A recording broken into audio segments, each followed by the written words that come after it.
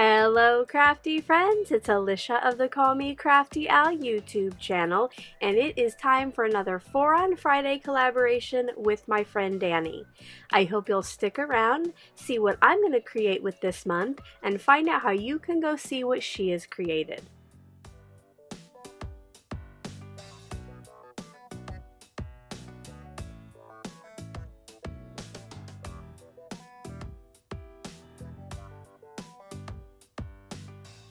Thank you so much for stopping by today. If this is your first time to my channel, I hope that by the end of this video, you'll be inspired to click on that subscribe button below and ring that bell for notifications. If you're already a subscriber and regular viewer, welcome back. I'm so glad that you're here again. Just about each month, my friend Danni and I like to get together for our 4 on Friday collaboration. What we do is we each choose one product, tool, technique, etc. and create four new projects with that.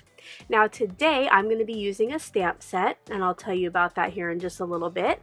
And then once you're done with my video, go find out what Danni used to create her four projects this month. It will be linked at the very top of that description box below.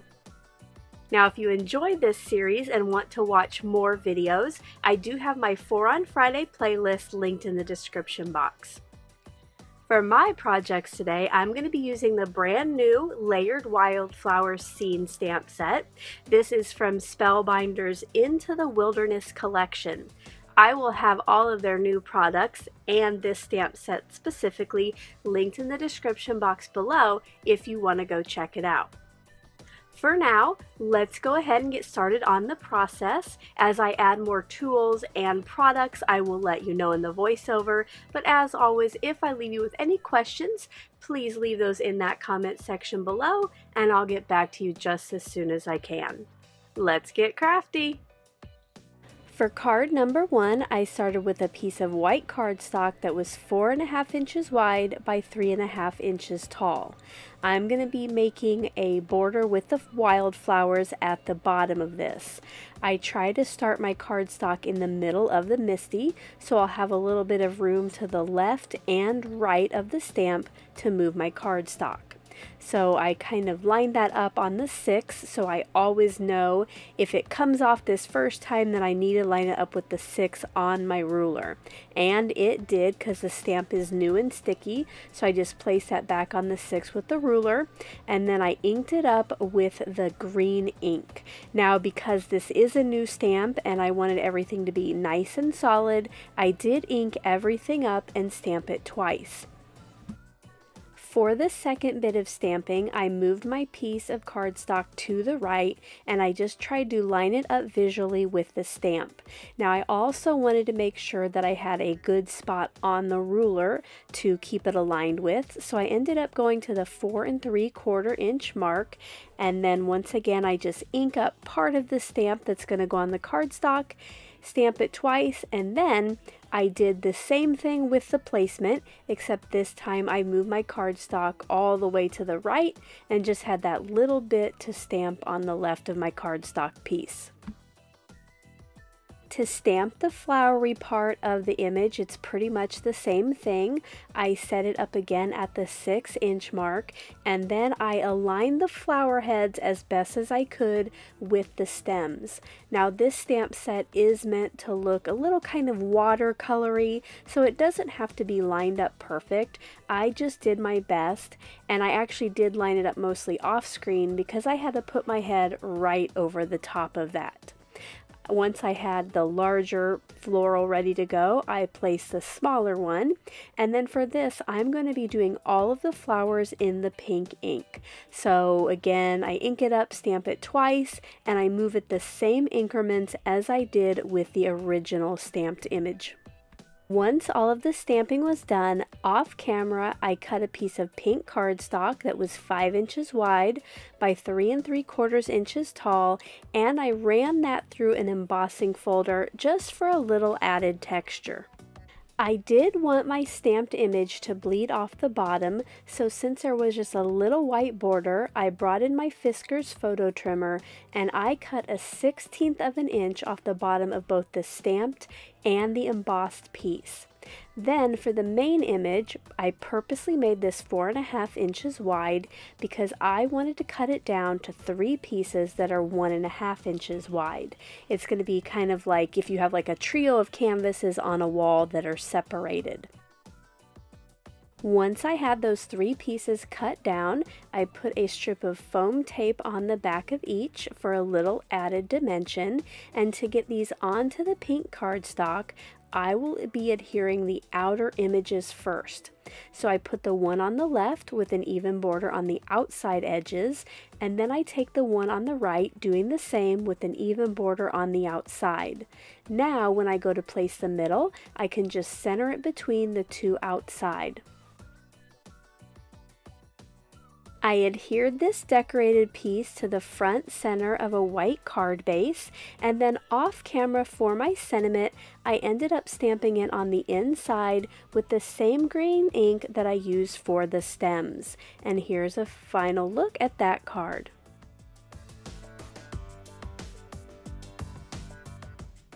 For card number two, I'm going to be creating a mini slimline.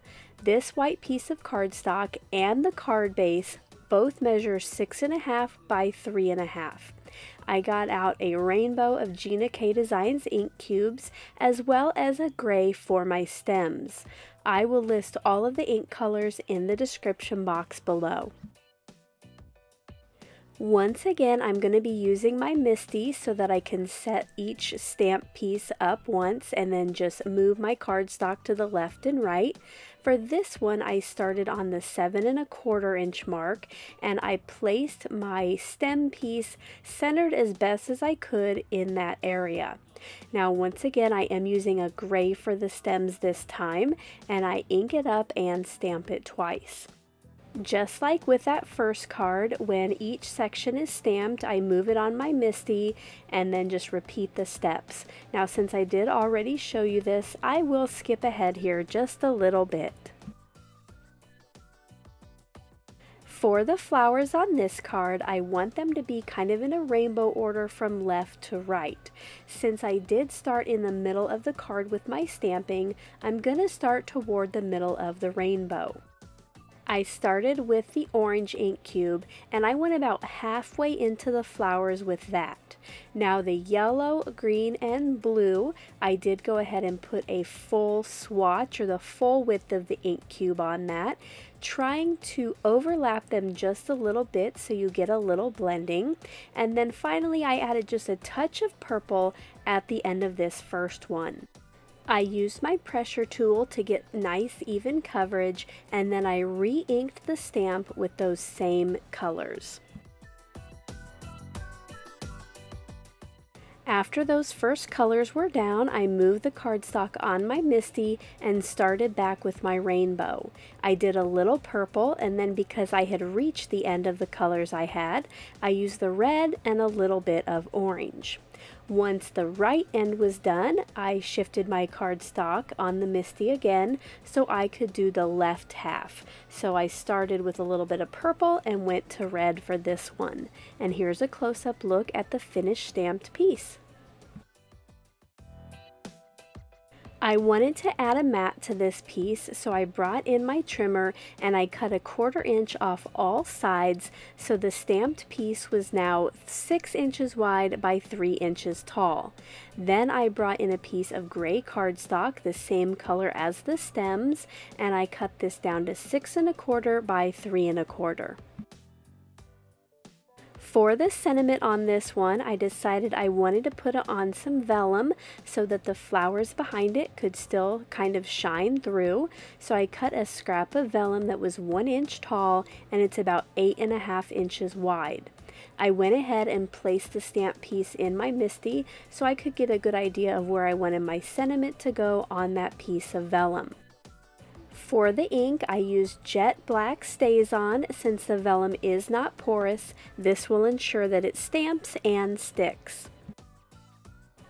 I adhered my sentiment to the stamped piece by wrapping the ends around to the back. This way you don't see any adhesive from the front. Then this piece got matted with the gray cardstock and placed onto the white card base that I cut and folded earlier. To finish this card off and add a little bling, I got out some rainbow gems that I had in my stash and I placed these on the vellum strip. I did two to the right since there was less vellum on that side and then the four to the left. I just like how this tied in the color of the flowers. And here's a look at the finished card.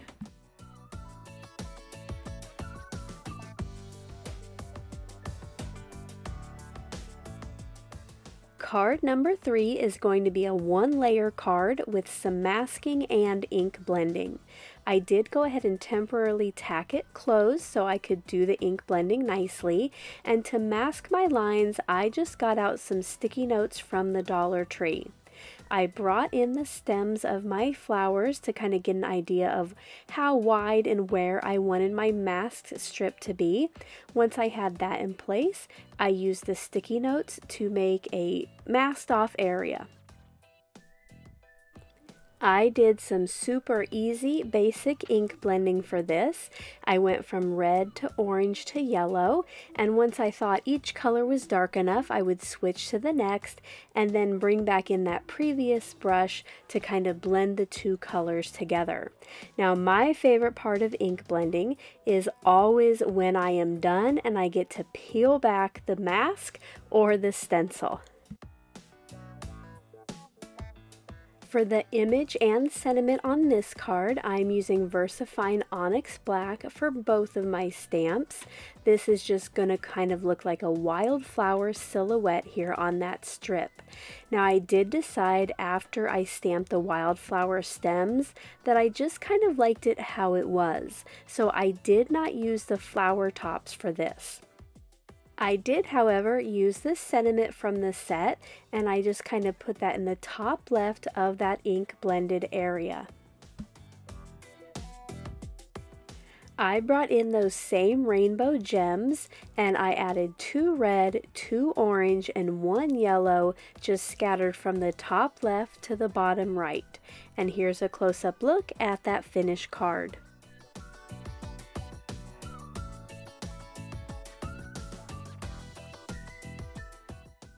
And now for the fourth and final card. I originally was going to use this pattern paper in the background and I chose my three inks using the colors in that.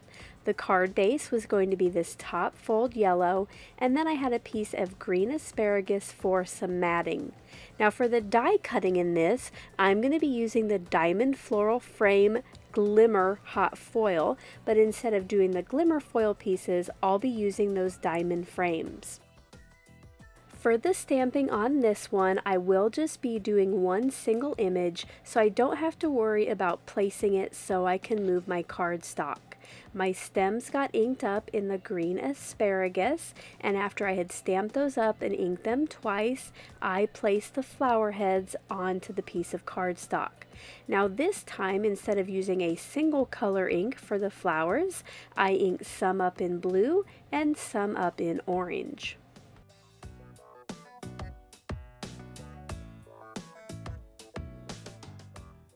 Once that was all stamped, I used the smaller of the two diamonds and placed that on my stamped image so that I would get the flowers bleeding off the edge, but that I would also have some of the orange flowers.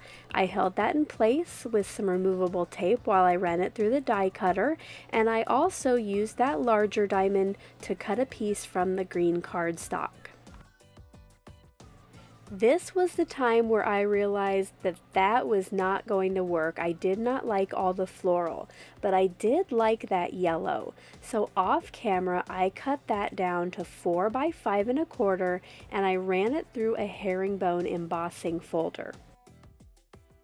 I adhered that yellow piece to the front of my top fold card base and then I matted my stamped image with the green diamond mat. Now for a little bit of dimension here, once again I brought in my foam tape added a couple strips to the back of the diamond, and then I centered this onto the card front. For my bling, I decided I wanted to bring out more of the orange in the stamped image, so I added three glue dots around the outside of my diamond and put an orange sequin on each of those. Now while I did like these orange sequins, I didn't really like the placement and I thought something was missing. So off screen, I stamped the For My Friend in orange and I punched it out with a circle. I also moved one of the sequins so the sentiment could go on the top left of that diamond. And here's a finished look at the final card.